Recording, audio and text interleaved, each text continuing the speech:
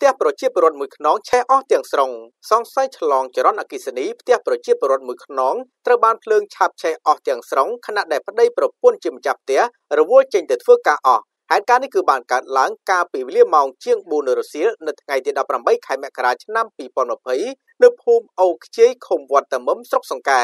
ម្ចាស់ផ្ទះជាប្តីគឺមានឈ្មោះឈូនរីណាភេទប្រុសអាយុ35ឆ្នាំនិងប្រពន្ធគឺមានឈ្មោះសឹមសុម៉ាលៀនអាយុ33ឆ្នាំនៅមុនពេលកើតហេតុប្តីប្រពន្ធទាំងពីរនាក់បានចាក់សោផ្ទះហើយចេញទៅធ្វើការរៀងរៀងខ្លួនអស់សង្ស័យជាឆ្លងចរន្តអគិសនីបណ្ដាលឲ្យភ្លើងឆាបឆេះផ្ទះអស់ទាំងស្រុងចំណែកឯរថយន្ត Mark Hybrid មួយគ្រឿងរបស់ម្ចាស់ផ្ទះដែលត្រូវជាប់ប្រាំងដៃត្រូវបានប្រជាពលរដ្ឋអ្នកចិត្តខាងវាយបំបីកញ្ចក់ចូលដោះប្រាំងដៃដែលជាប់នោះហើយរុញចេញមកក្រៅទាន់ពេលវេលា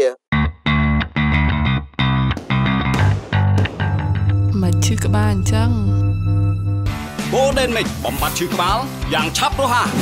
ប៉ដេនមិចបំបត្តិឈឺក្បាលប៉លប៉លប៉លប៉ដេនមិចបំបត្តិឈឺក្បាលរោគប្រកាំងឆាប់រហ័សនិងប្រសិទ្ធភាពខ្ពស់ផ្ទះដែលរងការឆាបឆេះនេះគឺជាប្រភេទផ្ទះទៀមជញ្ជាំងថ្មលាក្តារទំហំ9ម៉ែត្រគុណនឹង7ម៉ែត្រខូចខាតអស់ទាំងស្រុងរីឯទ្រព្យសម្បត្តិនៅមិនទាន់ដឹងនៅឡើយនោះទេ